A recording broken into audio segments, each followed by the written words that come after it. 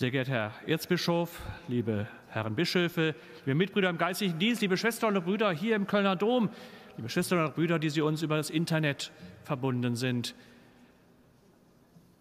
Das Evangelium ist eine frohe Botschaft. Und die frohe Botschaft in die Zeit hineinzutragen, bis der Herr wiederkommt, ist die Aufgabe der Kirche.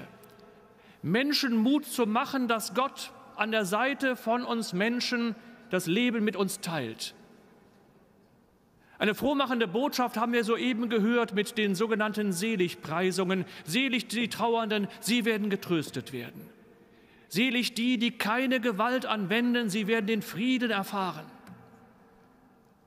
Natürlich kann man sagen, das ist ein Blick in die ferne Zukunft oder in die nähere Zukunft, wer weiß, aber immerhin erst in die Zukunft. Dann, wenn der Herr kommt, wird er alle trösten. Dann, wenn der Herr kommt, werden alle Kriege beendet sein. Dann wird es den wirklichen Frieden geben, wir, den wir Menschen alleine nicht schaffen können. Aber wir leben doch jetzt in dieser Zeit, in der Zeit der Ankündigung des ersten Ankommens des Herrn und der Hoffnung, dass der Herr wiederkommt. Und in diese Zeit hinein sind wir alle gerufen, liebe Schwestern und Brüder, mitbauen zu dürfen am Reich Gottes, damit das, was in ferner Zukunft oder naher Zukunft, dann eben, wenn der Herr kommt, Wirklichkeit wird und vollendet sein wird, daran mitbauen zu dürfen. Heute schon Menschen zu trösten, heute Menschen, die vom Krieg bedroht sind oder in Unfrieden leben, an ihrer Seite zu stehen und solidarisch zu sein. Denen, die arm sind, zu helfen mit den Möglichkeiten, die wir haben, dass niemand hungern muss und niemand verhungern muss. Und vor allem, dass Liebe gelebt werden kann. Dieses Evangelium, liebe Schwestern und Brüder, wird heute auf der ganzen Welt überall dort verkündet, wo katholische Christen zur Feier der heiligen Messe zusammenkommen. Aber wie kann das gleiche Evangelium, die gleichen Worte von Jesus Christus Menschen hier im Erzbistum Köln oder in Deutschland genauso berühren und auffordern, mitbauen zu dürfen am Reich Gottes und Hoffnung zu schenken, wie den Menschen in Tokio, in Japan und in Myanmar, wo wir so unterschiedliche Menschen sind, unterschiedliche Sprache sprechen, in unterschiedlichen Zeitzonen leben, unterschiedliche Vorlieben in Speisen und Getränken haben, unterschiedliche Musik hören. Es ist das gleiche Evangelium, die gleiche Botschaft, und es eint uns im Glauben, dass wir miteinander den Glauben, den Christus in diese Welt gebracht hat, den Glauben an Jesus Christus und den dreifaltigen Gott leben. Wir sind so unterschiedlich, das können wir schon ahnen, auch die, die noch nicht die Möglichkeit hatten, wie ich im vergangenen Jahr mit einer Delegation aus dem Erzbistum Köln. Und ich freue mich, dass die, die damals mit mir zusammen gereist sind, eine Woche nach Tokio jetzt auch mit uns diese heilige Messe feiern. Wir kommen aus einer Region, in der der christliche Glaube jahrhundertelang gelebt wird, wo viele Bauten wie hier der Kölner Dom für den Glauben zeugen stehen und vieles christlich geprägt ist. Aber auch wir erleben hier, dass der Glaube immer mehr schwindet. Und kam nach Tokio, wo ganz wenige Prozent von Menschen, die in diesem Land leben, in dieser Stadt leben, Christen sind und dafür nur ein kleiner Prozentsatz katholisch. Geht das überhaupt, den Glauben mit einer so kleinen Zahl von Menschen zu leben, überzeugend zu leben? Und in Myanmar wird es wieder anders sein. Ich möchte zwei Beispiele erzählen, die mir zumindest zeigen, wie es gut gelingen kann, den Glauben in die jeweilige Zeit hineinzutragen und auch zu bezeugen und zu leben. Das heißt, Menschen Hoffnung zu machen, Hoffnung dass das, auf das wir hoffen, in Erfüllung geht und dass das jetzt schon erfahrbar werden kann. Also nicht ein Trost ist, der irgendwann mal in Erfüllung geht. Wie gesagt, in Tokio eine Millionenstadt, eine lebendige Stadt mit ganz wenig katholischen Christen gibt es eine Universität mit 10.000 Studierenden. Und wenn man sich vorstellt, dass an dieser Universität Menschen verschiedener Religionen leben, dann könnte man sich doch fragen, warum engagiert sich die Kirche in dieser Stadt mit einer solch großen Universität? weil wir uns engagieren, weil die Kirche sich engagiert, da speziell die Jesuiten, um zu sagen, Menschen haben Hunger nach guter Bildung. Und wer gute Bildung hat, kann die Gesellschaft gut mitentwickeln und sich dafür einsetzen, für eine gerechte Gesellschaft, für ein gutes Auskommen, für gute Lebensbedingungen. Könnte man sagen, das kann man auch an einer anderen Universität. Sicherlich ist das möglich. Was mich besonders angesprochen hat, ist, dass alle, die dort mit dem Studium beginnen, sich in kleinen Gruppen mehrere Mal treffen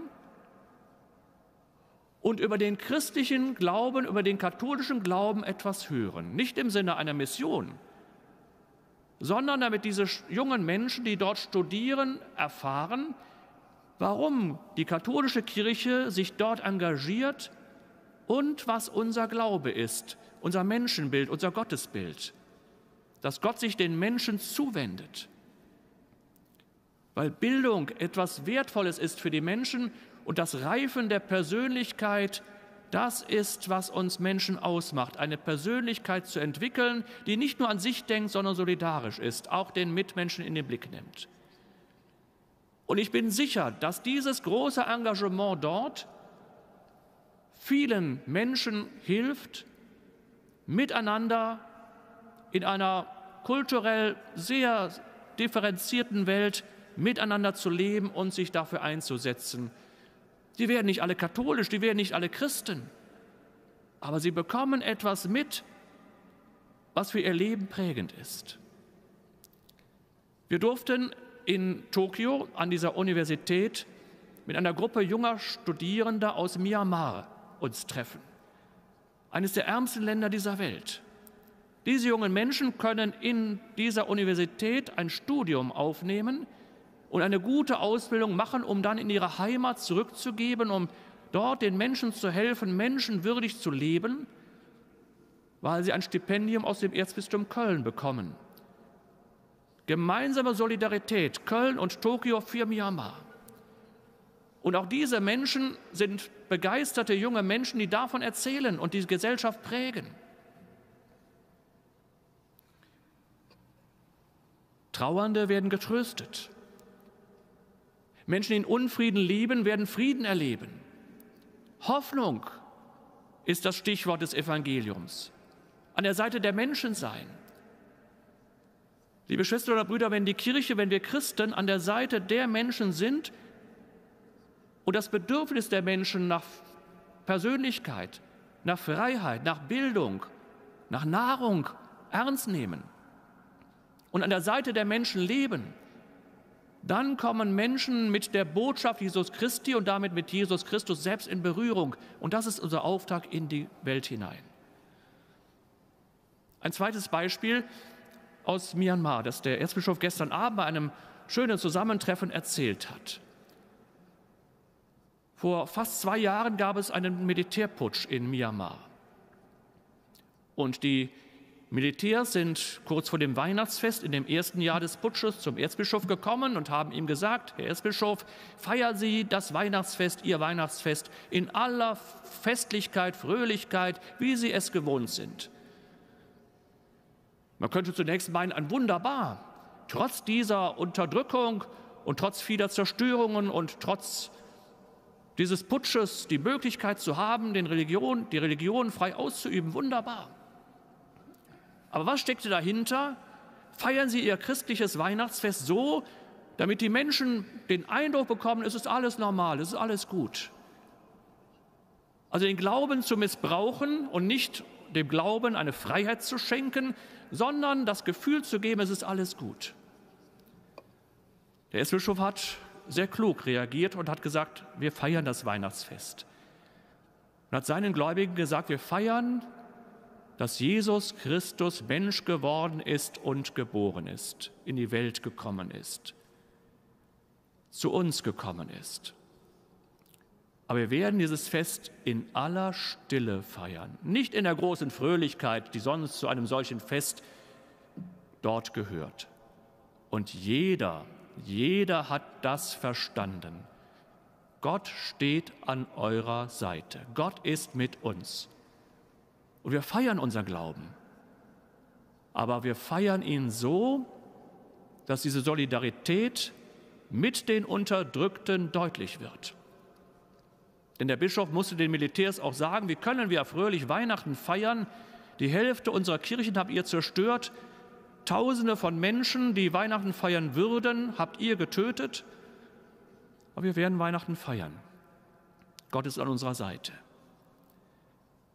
Liebe Schwestern und Brüder, Menschen Hoffnung zu machen und sich an die Seite der Menschen zu stellen, ist einer der Aufträge der Kirche in die Welt hinein, in jede Zeit, in jede Gesellschaft. Mit dem gleichen Evangelium, das heute verkündet wird, müssen sich die jeweiligen Ortskirche Gedanken machen, wie kann das sein? Und wir hier in Köln müssen uns auch fragen, wo sollten wir hingehen, als Kirche wirklich präsent sein, wahrgenommen werden damit Menschen durch uns mit Christus in Berührung kommen. Sie werden vielleicht nicht alle den Glauben mit unserem Glauben teilen. Aber wenn wir dorthin gehen, wo Menschen traurig sind und sie trösten, wenn wir dorthin gehen, wo Streit ist, zu vermitteln, wenn wir dorthin gehen, wo Menschen nicht miteinander reden können oder wollen, das Gespräch wieder neu zu suchen, dann wird das Evangelium zu einer frohen Botschaft zur Botschaft der Hoffnung. Liebe Schwestern und Brüder, ob hier im Erzbistum Köln, ob im Erzbistum Tokio, ob in Myanmar, überall sind wir gerufen, diese Hoffnung den Menschen zu sagen, Gott ist an unserer Seite. Ihr, die ihr traurig seid, ihr werdet getröstet werden. Und ihr, die unter Unterdrückung leidet, ihr werdet Freiheit erleben. Amen.